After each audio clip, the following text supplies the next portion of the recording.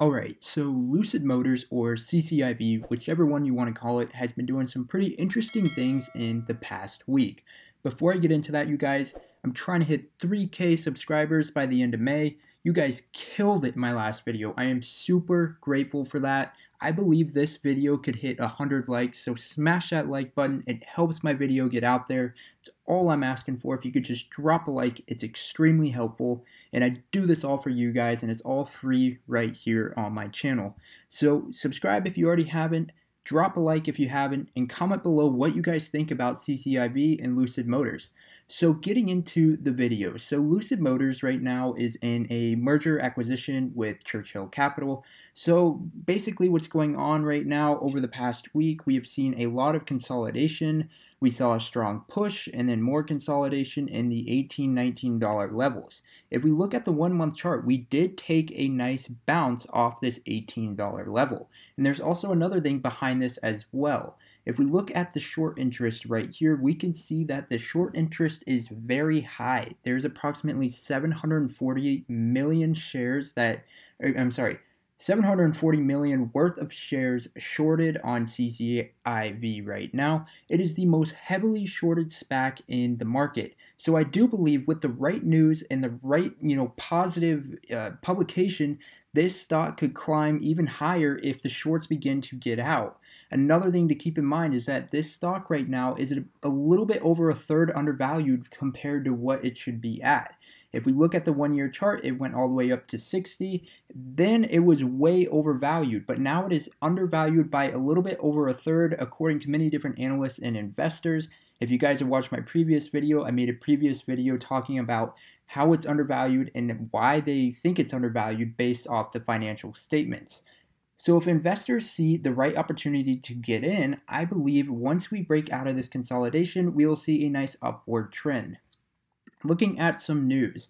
So, for those of you guys who don't know, uh, Lucid has gotten Sherry House, which will be her, C- which will be the CFO for uh, Lucid Motors. She has a great finance and technical background in investment banking, corporate finance, and things like that. Another thing is that she really realizes the scale that Lucid Motors could grow at.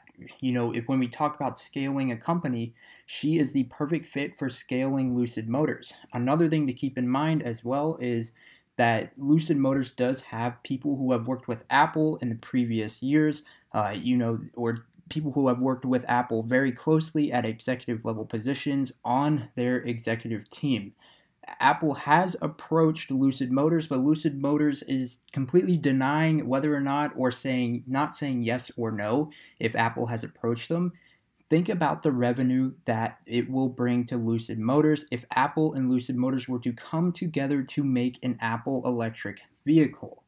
Looking at another article as well, they are looking to open up a store at the Tyson location opening up this store will mean that they are ready to expand. This will be in the Washington, D.C. area and specifically in the metropolitan area.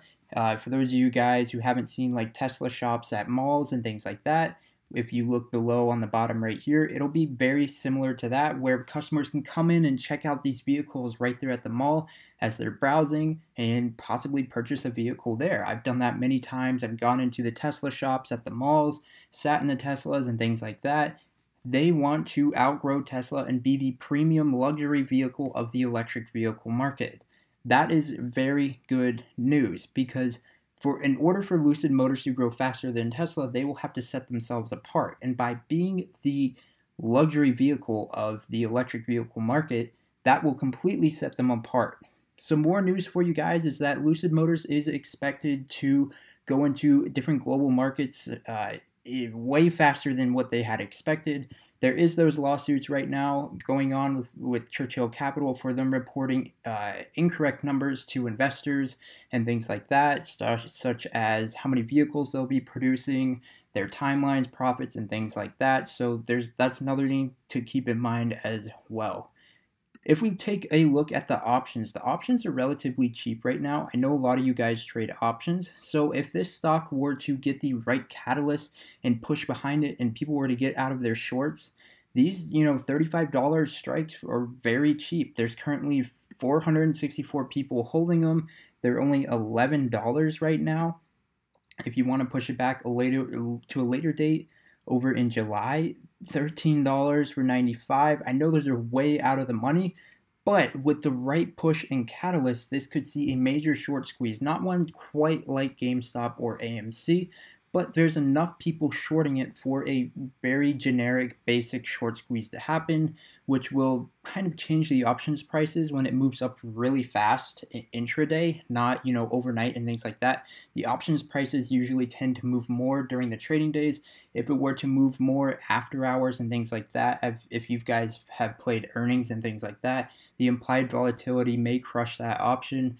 It may not even move at all. So there's many different things to look at. I want you guys to be a part of this. We are still waiting for that short squeeze to happen. I'm going to be bringing you guys this news every single day to kind of educate you what's going on with this company because the room for growth at Lucid is very high. And if they were to outgrow Tesla, we we've seen what Tesla can do.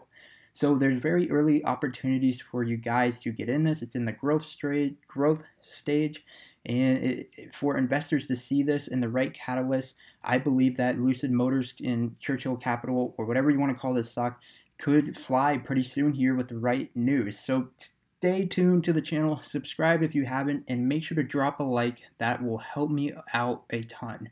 Comment below your guys' thoughts. I'd love to hear news that I don't know or things that I have not talked about. So comment below, like, and subscribe. I will see you guys in the next video.